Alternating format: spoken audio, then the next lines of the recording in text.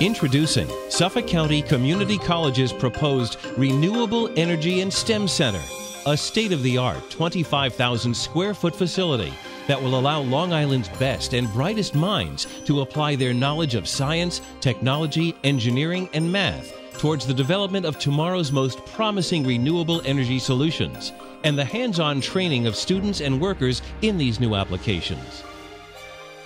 The Renewable Energy and STEM Center will be conveniently located on Suffolk's Michael J. Grant campus, adjacent to the college's existing Workforce Development Training Center.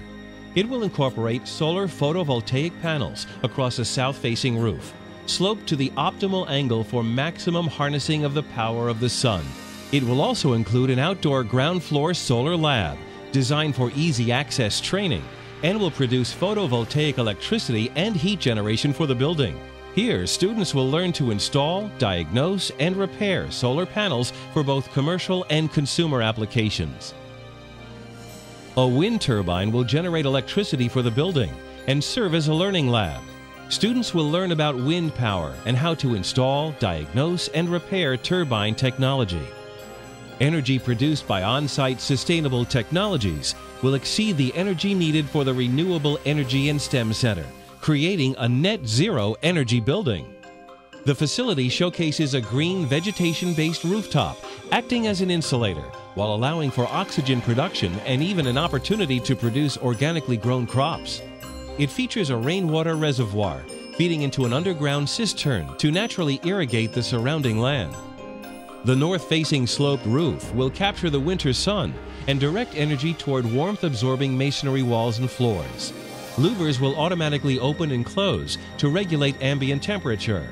Photochromic glass darkens or lightens depending upon the ambient temperature needs of the center. As you can see, the facility will include a mobile smart house. Sliding in and out on rails, it allows for students to understand how a home will react to proper weatherization technologies in real world circumstances new and evolving technologies can be implemented and then tested against exposure to the elements.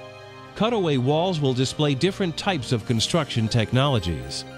The second floor of the facility presents an unprecedented opportunity to combine research from Stony Brook University with Suffolk's expertise in testing and training to develop next generation products with practical manufacturing applications supporting industries ranging from healthcare to energy to transportation.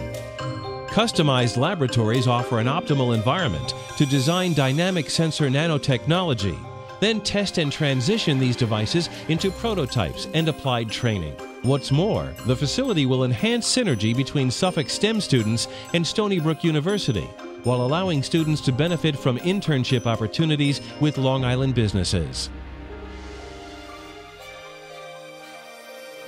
In all, this is just a brief but exciting glimpse as to what Suffolk County Community College's proposed Renewable Energy and STEM Center can offer the people of Long Island. With your help, we can make it happen.